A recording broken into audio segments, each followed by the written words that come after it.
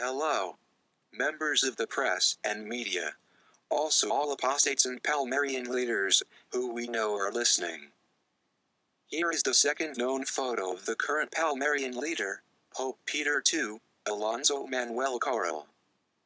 For your interest, we publish an extract from the Palmarian Bible detailing the conception of the Antichrist.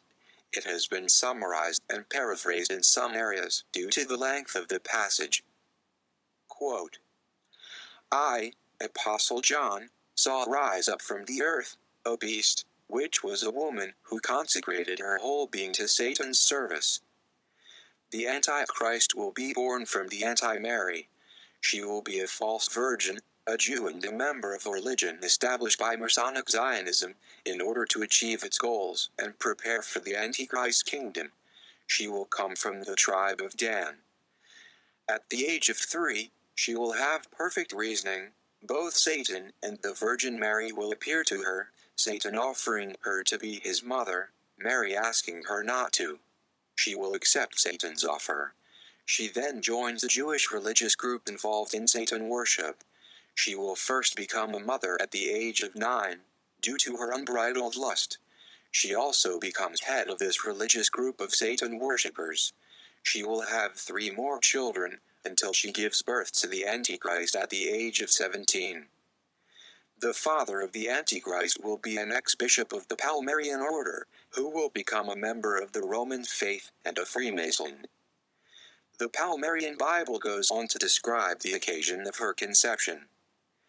The Antichrist conception will take place in a great Masonic lodge, in which there will be an altar, beautifully decorated with altar clothes, candelabra, candles, flowers and so on. In the middle of this will be an inverted crucifix with Christ's effigy upside down. Everything will be made ready for the sacrilegious act in which the Antichrist will be conceived. Anti-Mary, extraordinarily beautiful and seductive, dressed in a woman's attire, will take her place before the altar. And beside her will be the apostate bishop in his episcopal attire.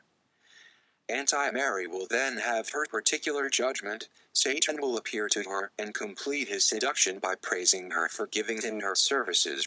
Next the Virgin Mary will appear warning her of the dreadful evil she is to commit, and as she carries this out she will be damned.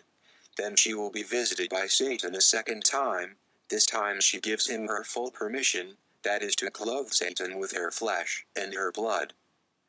Next she will undress completely and lie on the altar. Then the apostate bishop, though already seduced by Satan, will be prompted anew by him to carry out the service. Next the Virgin Mary will warn the bishop, as she did with the Anti-Mary. And following a final visit by Satan the apostate bishop, he fully commits. He then takes off all his clothes and naked, before beginning the act, will idolize Anti-Mary, incensing her body from head to foot, forthwith fornicating with her.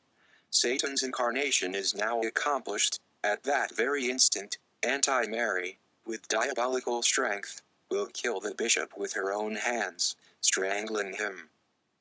He will go straight to hell. Satan will now be conceived in flesh, and all of hell will rejoice.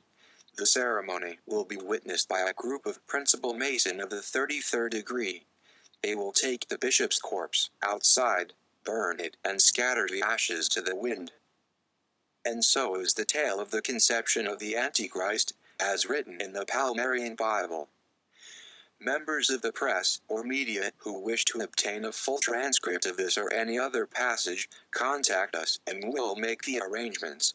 The information will be freely distributed once the correct channels of distribution are agreed upon. Palmarian leaders, now here is your proof. We have your Bible, and you know it. But this is only a small part of what we are doing. There is much more to our campaign than publishing extracts. We will be reverting back to exposing your true natures as individuals. A profile on the great pretender, Clemente Dominguez Gomez, who made up these lies, is to follow next. Be prepared. We are coming.